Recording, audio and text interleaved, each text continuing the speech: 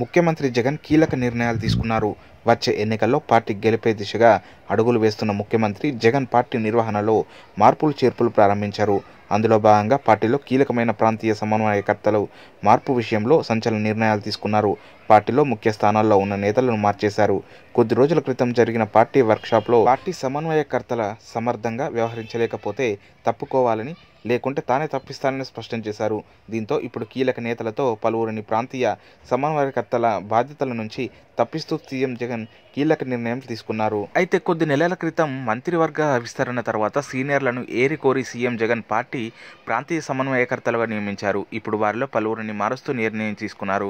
Party రాష్ట్ర ప్రధాన కార్యదర్శి సజ్జల రామకృష్ణారెడ్డి ఆర్థిక మంత్రి బుగ్గన మంత్రి కొడాలి నాని అనిల్ కుమార్ యాదవ్లను కూడా ఈ బాధ్యతల నుంచి తప్పిస్తూ నిర్ణయం తీసుకున్నారు. ఇప్పటి వరకు సజ్జల రామకృష్ణారెడ్డి ఆర్థిక మంత్రి బుగ్గనకు అప్పగించిన కర్నూలు నంద్యాల జిల్లాల బాధ్యతలను కడప జిల్లా పరిషత్ చైర్మన్ ఆకిపాటి అమర్నాథ్ రెడ్డికి కేటాయించారు. మాజీ మంత్రి అనిల్ వద్ద ఉన్న కడప తిరుపతి జిల్లాల బాధ్యతలను నెల్లూరు ప్రాంతీయ సమన్వయకర్తలుగా ఉన్న మాజీ మంత్రి బాలినేని కేటాయించారు. బాపట్ల జిల్లా సమన్వయకర్త బాధ్యతలను రాజ్యసభ సభ్యుడు బీదా మస్తాన్రావుకు అప్పగించారు.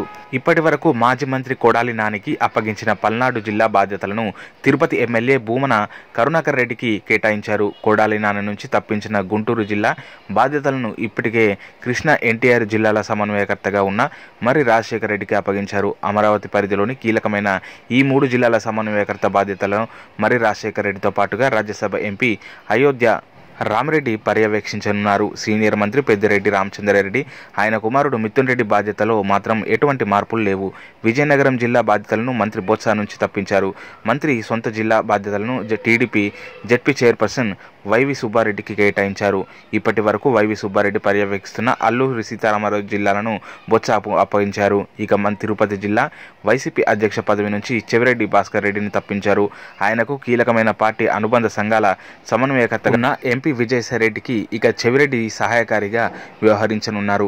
డిసెంబర్ నాలుగున సీఎం జగన్ గడప గడపకు ప్రభుత్వం పైన మరోసారి వర్క్షాప్ నిర్వహించాలని నిర్ణయం తీసుకున్నారు. అయితే ఈలోగానే ప్రాంతీయ సమన్వయకర్తల మార్పు పైన నిర్ణయం తీసుకున్నారు.